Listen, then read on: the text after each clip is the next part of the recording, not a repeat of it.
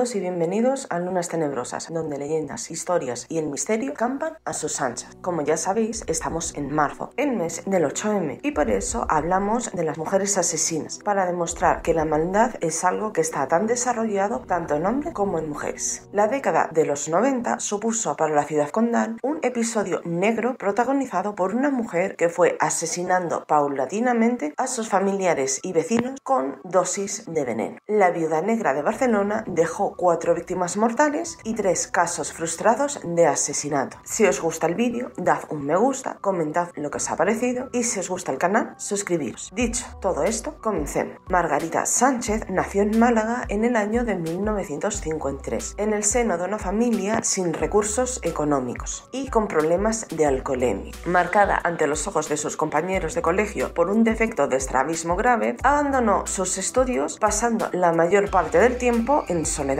Ya entonces comenzó a desarrollar un comportamiento bastante antisocial que afectaría a las relaciones interpersonales que tendría en el futuro. A muy temprana edad se traslada a un barrio humilde de L'Hospitalet de Llobregat, en la calle Riera Blanca, donde era conocida como la Gersha, debido a su estrabismo. Aquel barrio era un barrio modesto de obreros donde todos trabajaban y se esforzaban por salir adelante. Allí llega a conocer al que sería su marido, Luis Navarro Nuez, un conductor de metro con problemas de alcoholismo, con el que contrajo matrimonio y con el que tuvo dos hijos. El primer contacto con los medicamentos fue cuando por problemas económicos del matrimonio se vio obligada a trabajar cuidando enfermos. En 1991 el matrimonio es desahuciado y se mudan a casa de sus suegros para hacerse cargo del abuelo de sus hijos, que estaba en esos momentos gravemente enfermo. De este modo atenuarían sus problemas económicos. Margarita y Carmen Nuez, su suegra, no tenían una buena relación. Al parecer, esta última era una mujer de autoridad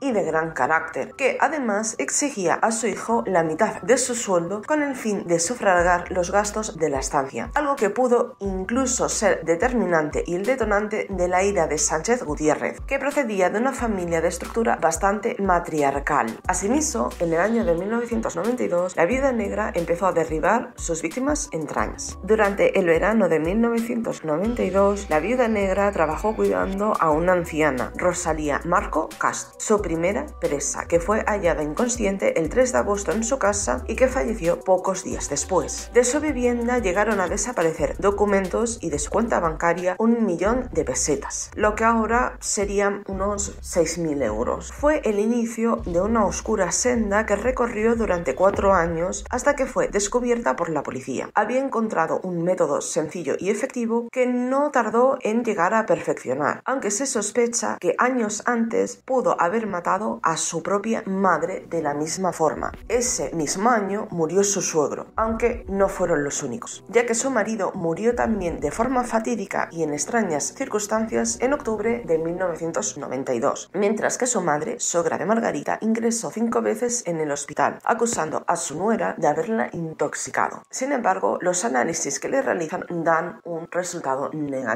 no hay pruebas de que ella la hubiera envenenado.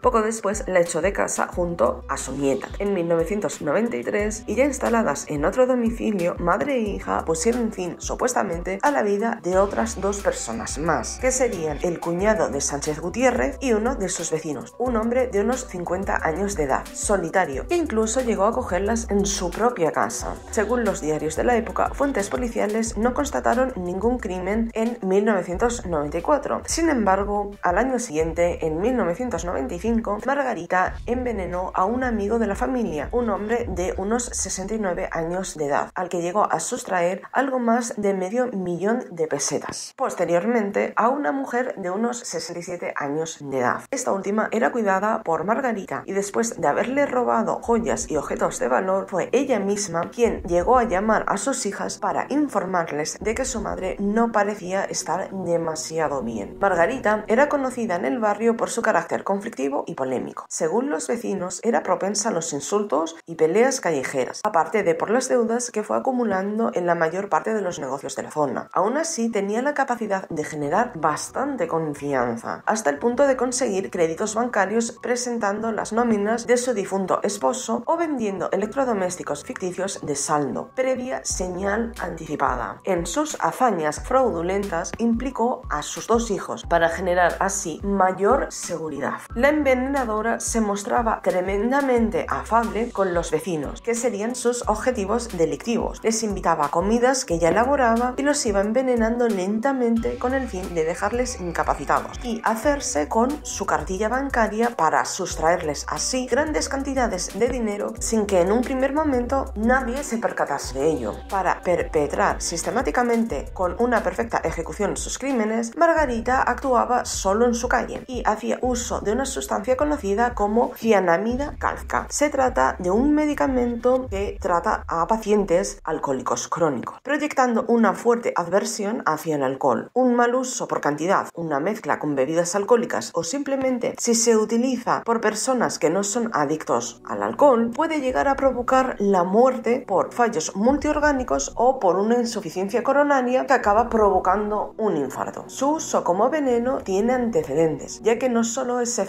además de ser una sustancia inodora, incolora e insípida, el cuerpo humano lo absorbe tan rápido que es extremadamente complicada de detectar. De hecho, según apuntan médicos y criminalistas, a las 5 horas no deja rastro en el cuerpo humano. Los rasgos más destacables de la patología de la viuda negra están relacionados con su avaricia y con el complejo de inferioridad que ésta sufría. El hecho de haber tenido una vida tremendamente marcada por los problemas económicos, junto con una falta de preparación para desempeñar algún oficio, su analfabetismo y un defecto físico, podrían haber sido los desencadenantes de su predisposición delictiva. Sin embargo, Margarita no solo cometía sus crímenes por razones económicas, sino que también estaba movida por un complejo de Dios que le proporcionaba un poder del que en su vida normal carecía. Sus víctimas eran familiares y vecinos, por los que no sintió ninguna compasión ni remordimientos. Su irresponsabilidad para involucrar a sus hijos y junto con una falta de conciencia para identificar el bien del mal, la convertían en una psicópata que actuaba con frialdad y falta de empatía. La viuda negra de Barcelona podría haber continuado esparciendo su veneno por el vecindario, de no haber sido por el descuido de dejar en casa de su suegra algunos documentos pertenecientes a sus víctimas. La policía comenzó a hacerle un seguimiento y descubrió que solía comprar habitualmente cianamida cálcica en la farmacia. El 19 de junio de 1996, Margarita Sánchez y su hija fueron detenidas cuando la policía, mediante orden judicial, se encontró con el botín y las pruebas de sus crímenes. En enero de 1998, Margarita Sánchez fue sentenciada a 34 años de prisión, no por los asesinatos cometidos, que jamás fueron probados, sino porque la intención de Margarita era drogar a sus familiares y vecinos para robarles. Por lo tanto, su sentencia fue por falsificación, robo y lesiones. Su hija de 17 años fue condenada a 5 años por complicidad en la falsificación de firmas y documentos, pero al ser menor de edad ingresó en el centro de menores de la Generalitat de Cataluña. Actualmente, en 2016, la viuda negra vive en la ciudad de Terrassa, en el barrio de Maurina. No sé lo que os ha parecido este vídeo. Realmente a mí me pareció un caso bastante interesante